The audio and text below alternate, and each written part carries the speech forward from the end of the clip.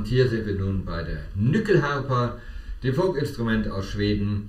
Und wie schon erwähnt, eine Art Geige mit Schreibmaschinentastatur. Ihr könnt überlegen, was eine Schreibmaschine war. Auf jeden Fall hatte sie Tasten.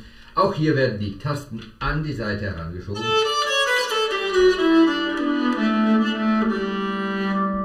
Dazu Resonanzseiten, die den Ton verstärken und wir machen uns auf eine kleine Reise mit einem Rheinländer.